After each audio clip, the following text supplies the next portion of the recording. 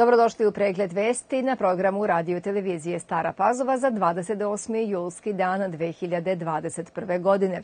Zbog nanošenja završnog sloja asfalta put između Starih Banovaca i Stare Pazove je zatvoren.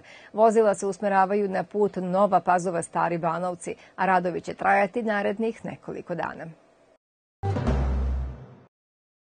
Predsjednik Srbije Aleksandar Vučić boravi danas i u četvrtak u Skoplju, gde će se sastati sa predsjednikom vlade Severne Makedonije Zoranom Zajevom i predsjednikom vlade Albanije Edijem Ramom u okviru inicijative za saradnju poznate pod nazivom Mini Schengen.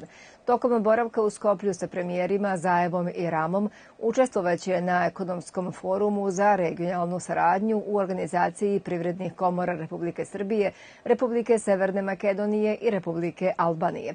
Predsjednik je prošle sedmice najavio da će na regionalnom ekonomskom forumu u Skoplju biti promenjeno ime inicijative Mini Schengen, a da će biti potpisana tri sporazuma i da će na graničnim prelazima biti napravljene brze trake za brži prolaz ljudi iz regiona kao što postoje posebne trake za ljude iz Evropske unije na ulazu u evropske zemlje.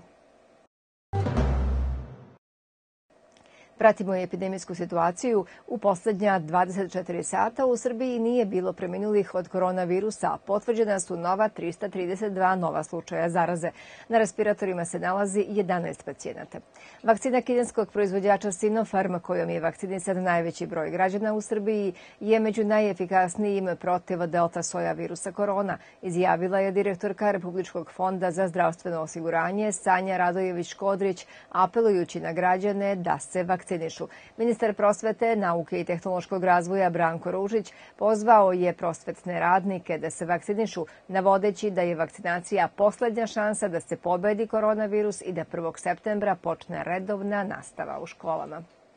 Struktura pacijenata na intenzivnoj nezi u COVID bolnici u Batajnici se promenila i za razliku od ranijeg perioda kada su to većinom bili stariji, sada ima više mladih pacijenata ispod 40 godina starosti sa teškom kliničkom slikom. A na teritoriji opštine Stara Pazova se u proseku dnevno otkrije jedan do dva nova slučaja zaraženosti virusom COVID-19. Saznajemo u Domu zdravlja dr. Jovan Jovanović Zmaj. Prema rečima epidemiologa doktora Duška Kođića, dobar deo njih je zaražen na putovanjima i masovnim okupljanjima, pa se strahuje da će u lokalu doći do povećanja zaraženosti nakon dolaska ljudi sa godišnjih odmora. Neznatno je povećana i poseta COVID ambulanti. Obavlja se veliki broj pregleda, pre svega bolesnika koji moraju na dalje intervencije u bolnicama. Vakcinalni punkt u Centru za prevenciju u Staroj Pazovi radi samo prepodne. Pacijenti dolaze na red 2-3 dana nakon prijeve. Dnevno se vakciniše 40 osoba, a na raspolaganju su kineske i Pfizer vakcina. O trećoj dozi još uvek se ne razmišlja. Prelazimo na ekonomske teme. Guverner Narodne banke Srbije Jorgovanka Tabaković izjavila je danas da su devizne rezerve od 13,5 milijardu evra na kraju juna u prve dve nedelje jula dodatno povećene i sada iznose 14,1 milijardu. U junu i julu kupljeno je 665 miliona evra na deviznom tržištu, čime je dodatno povećena finansijska stabilnost zemlje, rekla je Tabaković na sednici Skupštinskog odbora za financije i budžet, na kojem je razmatran izveštaj o radu Narodne banke Srbije. Ministar poljoprivrede Branislav Nedimović rekao je da će država po svaku cenu od afričke kuge svinja gledati da odbrani prostore Mačve, Strema i Južne Bačke koje su glavne proizvođačke tačke u proizvodnji svinja.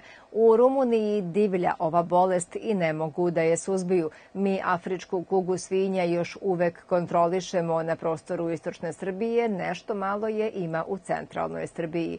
Naše glavne proizvođačke tačke za svinje su Mačva, Strem i Južna Bačka. Gledat ćemo po svaku cenu da branimo te prostore, rekao je Nedimović. Već četiri godine Stefan Subotić, 23-godišnjak iz Belegiša, se bori sa leukemijom. On je u decembru prošle godine primio koštanu srž od svoje majke. Nažalost, kako nam je javila njegova majka, Stefanu se bolest u malom procentu vratila u krv. Postoji trajno rešenje koje košta 600.000 evra. Ova suma se mora sakupiti u narednih osam nedelja kako bi se obavio zahvat u bolnici u Hamburgu. Ukoliko želite da pomognete, pošaljite SMS sadržine 360 na broj 30 30.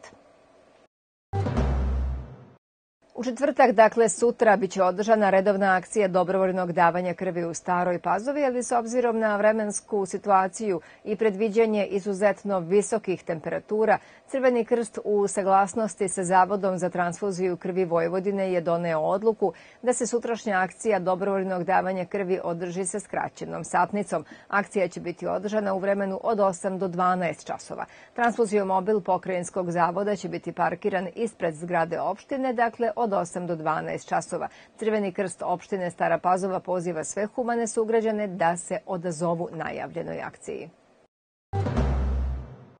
Dečije kulturno leto u Staropazovačkoj opštini nastavlja se sutra i to pozorišnom predstavom Čarobna knjiga, koju će najpre pogledati mališani u starim banovcima i to od 18 časova. Istog dana u 20 časova predstava se seli na plato ispred bioskopa u Novoj Pazovi. U petak Čarobna knjiga stiže najpre u Surduk, a posle i u Staru Pazovu. Reprezentacija Srbije u basketu 3 na 3 osvojila je bronzanu medalju nakon što je sa 21-10 savladala reprezentaciju Belgije. Naša reprezentacija imala je skoro od sedam utakmica i isto toliko pobjeda, što ih je opravdano stavljalo za prve favorite za osvajanje zlatne medalje. Međutim, u polufinalu usledio je pad u igri koji su na najbolji način iskoristili basketaši Rusije koji su naneli prvi, jedini i najteži poraz našoj reprezentaciji Rusiji, ostavivši ih bez šanse da ostvare zacrtano, a to je pohod na zlatnu medalju. Naši momci uspeli su pre svega psihološki da se podignu i nakon tri i po sata od gubitka polufinalne utakmice u borbi za bronzu pobede ubedljivo Belgiju i Srbiji donesu četvrtu medalju na olimpijskim igrama u Tokiju. Našu reprezentaciju Pored Dušana Domovića Buluta i Mihajla Vasića čine i dva momka sa teritorije opštine Stara Pazova, Dejan Majstorović iz Starih Banovaca i Aleksandar Ratkov iz Stare Pazove. Dakle, peti dan takmičenja na igrama u Tokiju počeo je odličnim rezultatima naših sportista. Srpski teniser Novak Đoković klasirao se u četvrt finale olimpijskih igara. To je ostvario pobedom nad Alejandrom Davidovićem Fokinom rezultatom 2-0.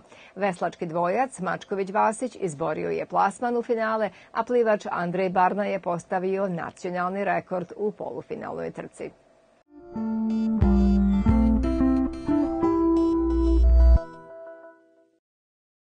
Sutra pretežno sunčano i veoma toplo ujutro na severu, ponegde sa kratkotrajnom kišom ili pljuskom sa grmljavinom.